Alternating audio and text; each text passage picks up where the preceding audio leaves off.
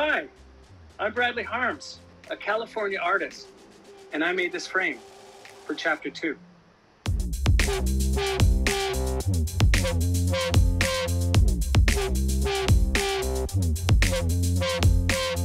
Part of the motivation for this project is to get art lovers uh, in love with cycling and get cyclists in love with art because we're so similar. Uh, those of us that are both can see it so plainly.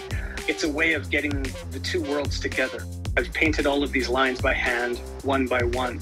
So if you actually get up to the frame or get up to the paintings, um, each line has a delicate waver, has has some imperfection in it. And I think the point of the paintings was to strive to be perfect, but always fall short.